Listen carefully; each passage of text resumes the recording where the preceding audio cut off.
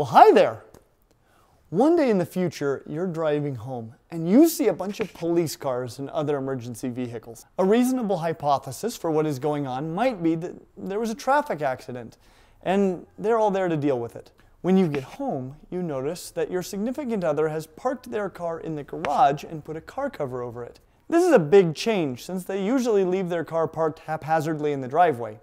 A reasonable hypothesis might be that they have finally decided to take better care of their things. When you get inside, you notice a mask on the couch. Plausible hypothesis might be that your significant other is getting ready for Halloween. Heck, it's only a few months away. You also notice a big bag of money on the couch. A plausible hypothesis might be that your significant other just won the lottery. And that's great. They've been so stressed out about money lately. You also notice that your significant other has all of the blinds drawn and keeps peeking nervously through them every few minutes. A plausible hypothesis might be that they just got the baby to sleep and they're expecting an Amazon package and they want to intercept the delivery person so they don't ring the doorbell. But I suspect that you might have a different explanation for all of this. You might be thinking that your significant other is, in fact, a bank robber. And all those seemingly unrelated phenomena that you observed before are actually all related. This is bank robbery theory. And you might have noticed that bank robbery theory informs our hypotheses regarding the individual phenomena that we saw before. If you find a mask at your house, hopefully your first thought isn't, hmm, I bet my significant other is a bank robber and used this mask to conceal their identity during a heist. But in the context of bank robbery theory, that is a totally plausible hypothesis. And this gives us a great opportunity to talk about the difference between a theory and a hypothesis. Both of these words are understood very differently in science than they are in colloquial English. In science, both of these words refer to testable explanations for phenomena. We actually have a whole video on hypothesis testing if you want to understand this better. But both hypotheses and theories are testable explanations. The difference between the two is primarily in their scope.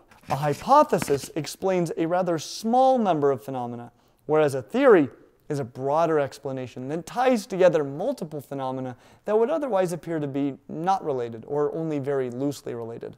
In our example, prepping for Halloween was a perfectly reasonable and testable explanation for the mask phenomenon. But bank robber theory informed us of a more likely explanation for the mask and tied the mask phenomenon to emergency vehicle phenomenon, covered car in the garage phenomenon, cash bag phenomenon, and nervous peeking phenomenon. Both hypotheses and theories may be yet untested or highly tested, unsupported or highly supported. And a hypothesis does not become a theory simply because it is well supported unless it explains far more phenomena than we originally thought. Nested within any theory are many diverse hypotheses. But again, a theory is much broader in scope than a hypothesis. Theories are the ultimate explanations in science. So when does a theory become a law? Never. People often say things like, it's just a theory, or it's not even a law when referring to theories. However, when it comes to scientific explanations for phenomena, there is nothing more valuable than a well-tested and supported theory. Laws, as it turns out, aren't explanations at all. They are descriptions. The law of gravity, for example, describes how objects of a known mass at known distance with known velocity, acceleration, and trajectory will interact. But if you ask why they interact that way, the law will have nothing to say about it. Laws don't explain anything.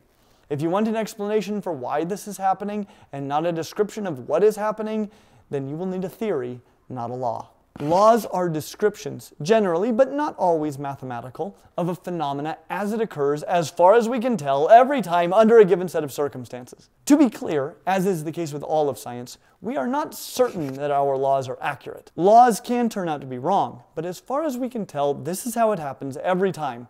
So to review, hypotheses and theories are both explanations. But theories explain and tie together more phenomena. Laws are not explanations at all, but are descriptions of phenomena that appear to occur in the same way every time under a given set of circumstances. Explanations do not become descriptions, nor do descriptions become explanations. And that brings us to facts. Facts are a bit trickier because the word is used in two different ways in science. Generally, facts are verifiable observations.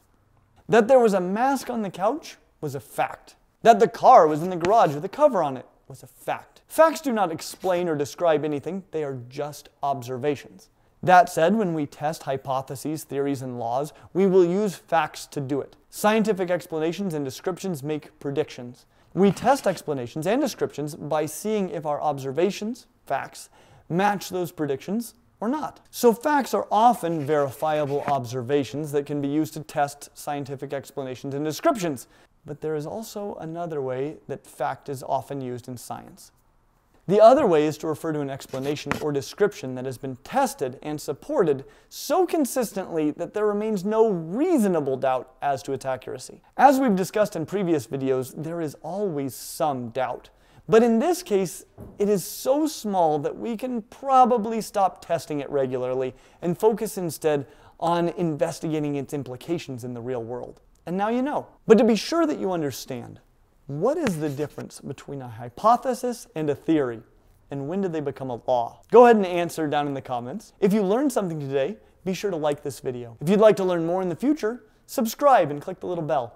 And we hope to see you real soon.